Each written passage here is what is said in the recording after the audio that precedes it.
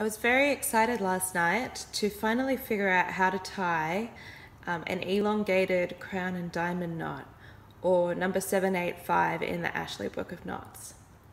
I couldn't find a single tutorial online about it, so I thought I would make one. Um, you start by tying a crown knot at the top the start of this knot is exactly the same as number 784 in the Ashley Book of Knots, although the diagrams for both 784 and 785 have a mistake, which is why it took me so long to figure out.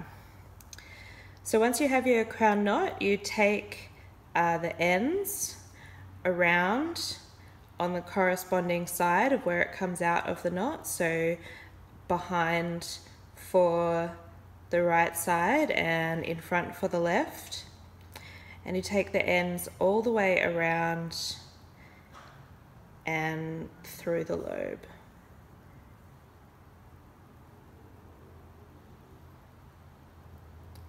Now for number 784, you would then take the ends straight through the crown and through the middle of the crown and pull it tight. For 785, you go around the outside again. So you bring the ends all the way around the outside of the lobes and back through their corresponding lobe. And then you bring the ends through the middle of the crown.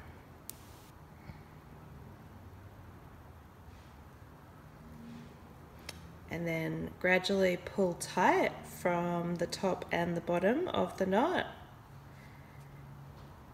And you might need to work a bit of extra slack through